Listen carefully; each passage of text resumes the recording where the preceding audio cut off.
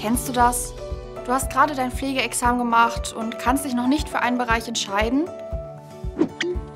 In unserem Trainee-Programm hast du in Ruhe Zeit herauszufinden, was am besten zu dir passt. Glaubst du nicht? Ist aber so.